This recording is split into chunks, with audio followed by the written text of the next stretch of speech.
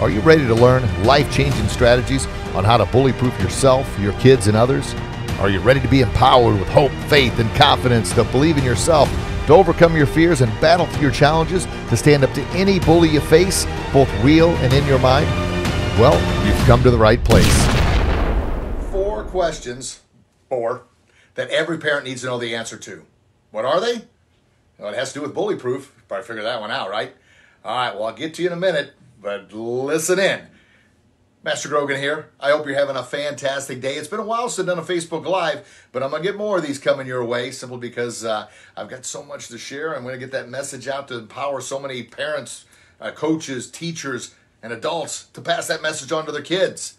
Yeah, because collectively we're going to work together and do this. We're going to bully proof this next generation and ourselves. So, what are those four questions? The first question is Does your kid know how to stand up to bullying? Do they? Do they know how to stand up to bullying? Now, the answer I get uh, a lot of times when I ask that, the parents will say, yep, or the mostly dads. Yeah, I told them, anybody bullies you, punch them right in the mouth. That's how you stop bullying. Well, that, that is a way to stop the bullying. Now, my goal is it never gets to that point that they have to actually physically defend themselves. If we stop it soon enough by using the ABCs to become bully proof, it'll never get that physical level. And unfortunately, if your kid hauls off and wham, jacks somebody in the face, I'm not saying the other kid didn't deserve it, but now your kid's going to probably be in trouble. They break their nose or uh, knock a tooth out or break their jaw.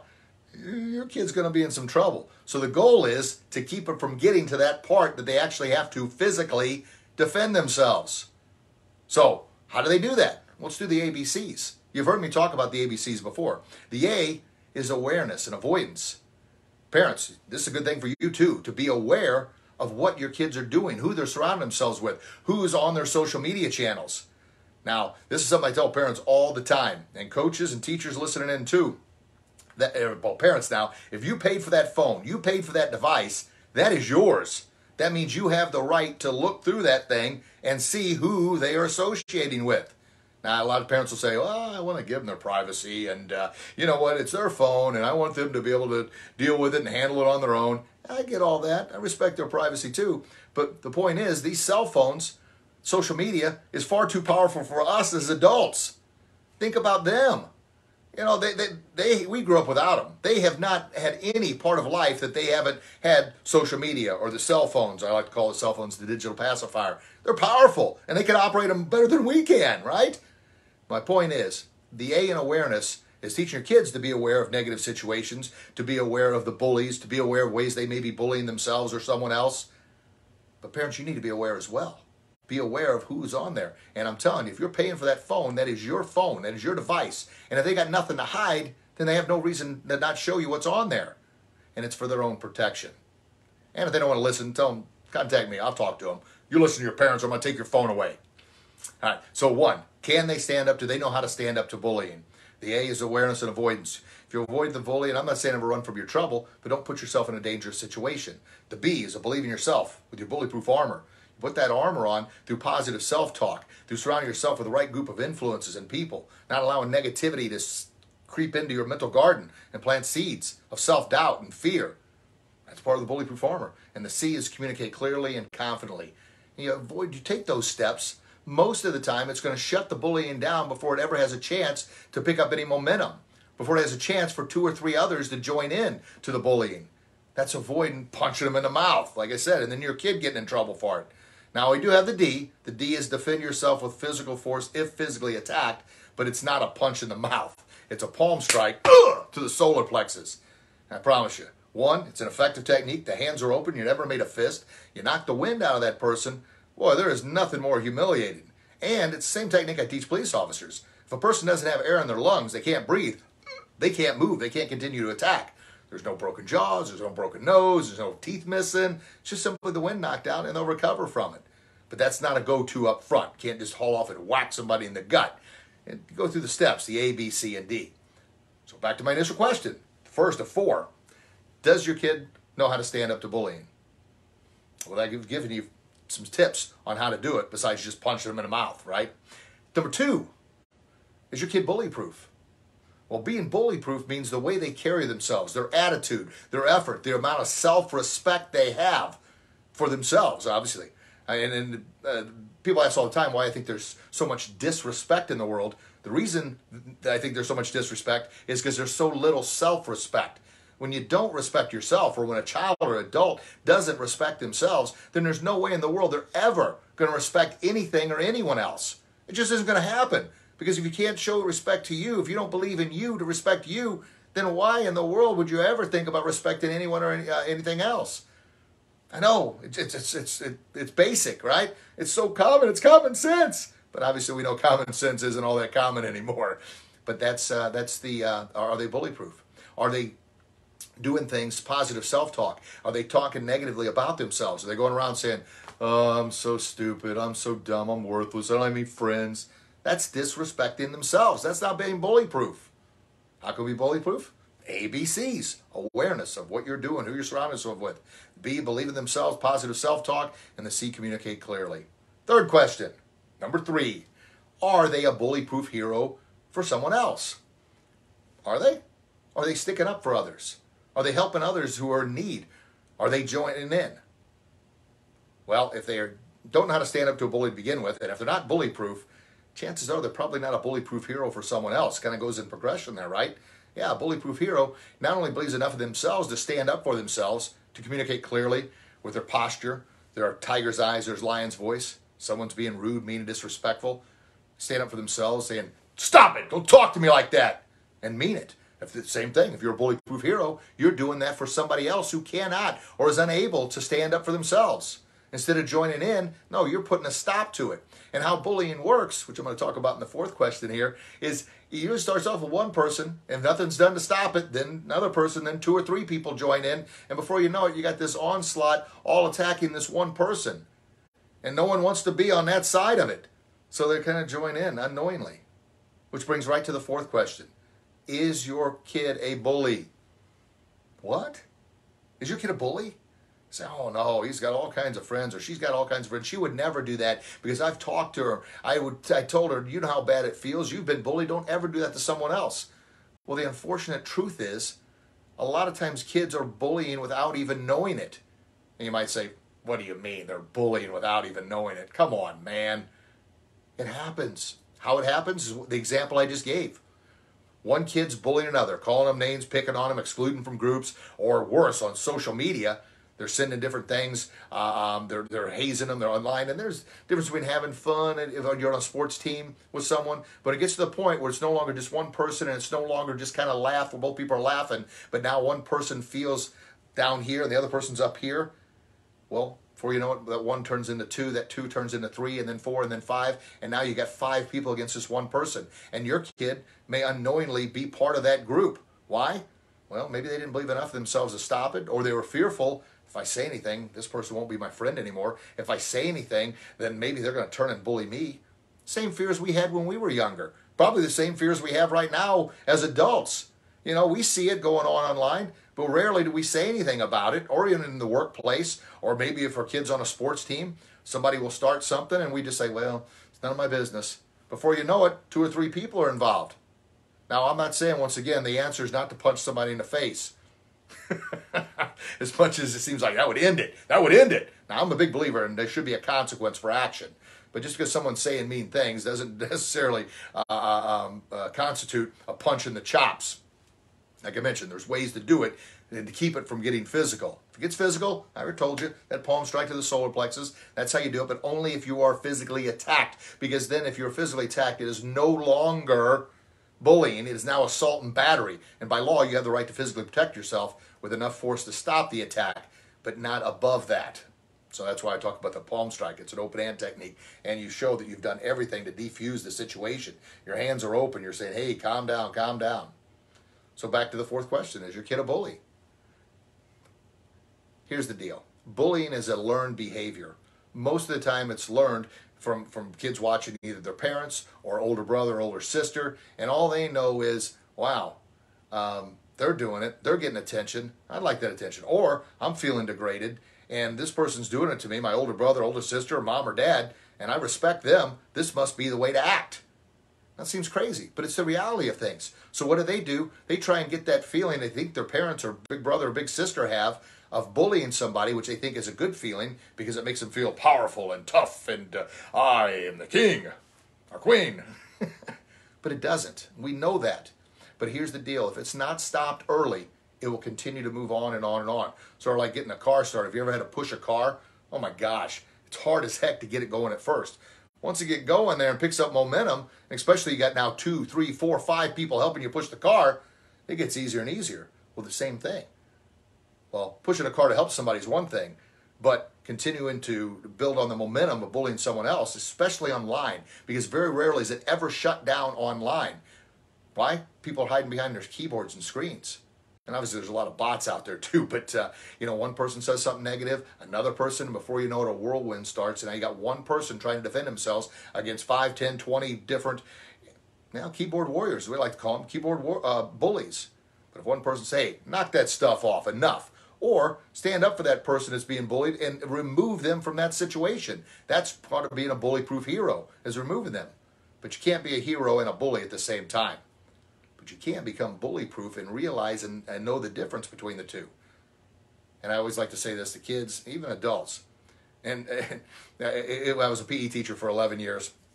And of course, I taught martial arts for 35 years, and now I'm coaching my son's hockey team or assistant coach. I'm so happy to be back on the ice again. But uh, it was always a, a, lot of times teachers would say, "Hey, if it's uh, it it's uh, makes you feel bad or doesn't make you feel good, don't do that to somebody else."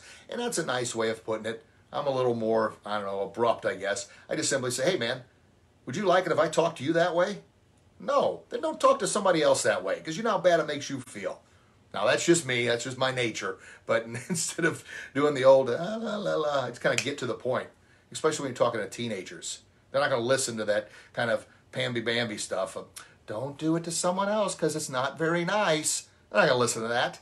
I'm not going to listen to that at all. Be direct, be forward, get to the point across. You wouldn't like it if I talked to you that way. Don't you talk to someone else that way. Knock it off. Come on, man. You're better than that. Come on. You're my buddy. You're my hero. Heroes don't do that. Come on. It's effective. It works because I'm talking to them in a way and a language they understand. Yeah, I'm not talking down. I'm not talking up. I'm not uh, uh, patronizing them in any way, shape, or form. I'm just talking to them. And that's the C. Communicate clearly and confidently and know who your audience is. So, a recap. What are the four? Does your kid know how to stand up to bullies? Do you know how to stand up to a bully at work or maybe on your sports team? Are you bully proof? Are your kids bully proof? Are you or your kids bully proof heroes for someone else? You see what I'm doing here? I'm planting seeds because it's really hard to try and bully proof someone else if you're not bully proof yourself. Yeah. And then the fourth one, are your kids a bully? Are you a bully? Unknowingly? Now, I want you to think would you like to be on that side of it? Have everybody against you? Absolutely not. So if you see that happen to someone else, man, do something. Be a hero. Set that example for your kids. Plant that seed in your kids' mind. Tell them, hey, you wouldn't like if people doing that to you. Be the bully-proof hero. And I'm telling you, the more we can strengthen that bully-proof armor, that's the B, believe in yourself by strengthening that bully-proof armor, we're going to be able to stand up to any bully we face, both real and in our mind. And the bully in here is the meanest, nastiest bully we'll ever face in our entire life. Why? The bully in here thrives on all the fear, all the limiting beliefs, all the negativity, anything negative someone has ever said about us, that bully in our mind is going to pull that back up and respin it. And that's when you got to shut that down. I just had yesterday, I was working on, I've got, uh, well, by the way, well, if you haven't picked up a copy of Becoming Bully Proof, please do so. And please, if you already read it, leave us a five star review. We got 55 reviews now. I'd like to get that up to over 100 because why? Because it's going to get this book in the hands of more people who need it to help empower them to become bully proof, make society a happier, healthier, and safer place to live. And then, second, this is coming out Tuesday, folks. I believe in me. Now, this is the author's copy. That's why they got that ring around there. But it's coming out Tuesday. It's a positive affirmations book of the ABCs it's for little kids to learn the ABCs, but also positive affirmation. But I'll tell you what, I've had several adults already proof it, and they're like, oh my gosh, I love this book. This helps me. And uh, so that's the whole idea to plant the positive seeds in that mental garden. But uh, anyway, yesterday I was uh, working on this, and I've got the Audible version coming out for becoming bully proof soon. I'm putting together a workshop for a coaching program for uh, the hockey organization that Emmett's a part of. And I hit a wall, man. I just bang hit that wall, and I was like, I can't get anything done. I'm spinning in circles. Now, part of my creative genius is uh, uh, I'm very creative, just ideas all over the place. The hardest thing for me is putting those ideas together into something that's actually tangible that people can use or learn from. That's just a hard thing for me. Talking? Well, according to my second grade teacher, Richie talks too much, and she's right. That's what I do for a living. But, uh, uh, but anyway, I hit that wall yesterday, and it took me being aware that's what I was doing. I was hitting that wall, and of course, you know, being a fighter, you're out there, you're gonna, I'm going to battle through this thing. I'm going to overcome. I'm going to succeed. I'm going to keep going. But if you keep banging your head against the wall, that's bullying yourself. And that's exactly what I was doing.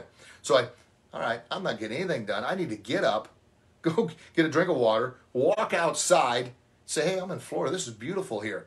And that's really all it took to reset that, that, that, that engine, reset that mindset, the motor. Like if the computer gets bogged down, you restart it, right? Well, the same thing here. I had to be aware of that. Then I had to reprogram that, believe in myself. Talk positive instead of, oh man, I can't get this. I'm such an idiot. Oh my gosh. No, knock that stuff off. That's bullying myself. And I know that all a lot of us out there have done that before. And then I had to communicate clearly and confidently to myself as, hey, we're going to refresh and we're going to get back at this thing. I did. Unbelievable how well that works. So why am I sharing all this with you? Because I want you to become bully proof. I want you to become your very, very best so you can pass that on to your kids to help them because they learn through us. They see what we're doing. And we're constantly in a bad mood, bad state because we're not sleeping well, we're bad talking ourselves. We're essentially bullying ourselves. And they're going to think that's the way they need to do it for themselves. Right? And if we're bad talking others and bullying others, that's what they're going to do. So back to the four questions. We just answered them. But are your kids, do your kids know how to stand up to bullying? Are they bully proof? Are they a bully proof hero someone else? Or are they a bully? And a lot of that comes back to us, right? Folks, I love you. I'm doing everything I can. I want to empower at least 10 million people to, to become bully proof by believing themselves with hope, faith, and confidence, to overcome their fears, battle through their challenges, to stand up to any and every bully they face, both real and in their mind. Just think about how much better we can make society, how much better we can make it for our kids if we're able to do that. But it all starts off with that confidence, that belief, that hope, that faith in themselves. Teenagers, it's a hard year. Oh my gosh, think back when you're a teenager and we didn't have social media. The pressures of that. The social media is too powerful for us. It's far too powerful for them. So imagine that their hormones are out of whack, right? They, they, don't know what's going on. I'm reading a book right now. It's called uh, the teenage brain. And the author gives an example of her teenage daughter smiling and happy when her hand hits her bedroom door. By the time she walks into her bedroom, she's in a full fledged panic attack, anxiety, and crying and having a temper tantrum. Why? Because her hormones are out of whack. We all went through it. Maybe not to that extreme, but um, if you think back when you're a teenager, and once again, we didn't have near the stimulus that the kids have right now. So, in a sense, a lot of times we're bullying ourselves and I mentioned this on another video, the A and the ABCs have become bully proof also for parents is awareness. Be aware of your kids. Be aware of what's going on in their lives. And if you're paying for this device, this phone, if you're paying for it, it is your phone, it is your device. You have every right to see who they're connecting with, who they're communicating with to protect them. And if they got nothing to hide, then, then they have nothing to keep from you, right? There's no reason why you shouldn't look at it. And parents say, oh, that's their privacy, man. I don't want to do that. Now it's your phone, and you could be potentially protecting them and saving them from predators or groomers or any other sicko out there that's trying to hurt them or try and bully them, right? All right, good stuff, folks. Well, hey, just a reminder this is coming out Tuesday, so if you have not, uh, well, make sure on Tuesday it's on Amazon.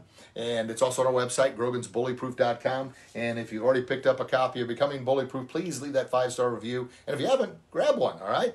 And uh, all kinds of other good stuff going. Folks, I love you. God loves you. Please share that love with the world. And until we talk again, you get out there and do your best, and I promise you'll be your very best. Your kids will be their very best. You'll become bullyproof. Yeah, they'll become bullyproof. and you'll live your best kick in life. God bless you. God bless your loved ones. Thank you so very much for your time. I sincerely appreciate it. If you found value in this, share it with someone else. God bless. Bye bye. Thank you so very much for listening in today. I am truly grateful for your time. My goal is to empower 10 million people with hope, faith, and confidence to believe in themselves to become bully proof. But I can't do it alone. So if you found value in this message, please share it with someone else who could benefit from it and by subscribing and leaving a five star review. Remember to stay empowered throughout the week by visiting our social media channels, Grogan's Bullyproof, and our website, grogansbullyproof.com.